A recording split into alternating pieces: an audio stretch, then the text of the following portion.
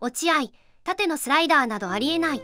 縦に落ちる急所、スライダーと呼ぶことには猛反対で、野球の専門家から言わせれば、まっすぐの軌道から横にスライドするからスライダー、縦のスライダーはありえない、ということを口を酸っぱくして言いたい、ときっぱり、カーブでもない、スライダーでもない、その中間なんだろうけれども、それはちゃんとした名前を付ければいい、と試験を述べた。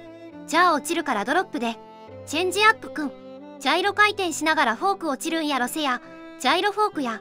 薮田のは大ボールと刀のスプリット。古田、ピッチャーが、これはスライダーです。といえばスライダー。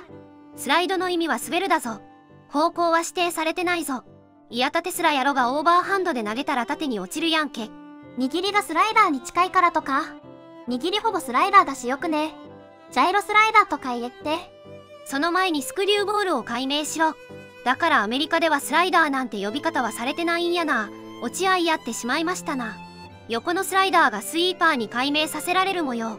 抜けて変化しなかったとしても抜けすらやから縦すらでええと思うが、ご視聴ありがとうございました。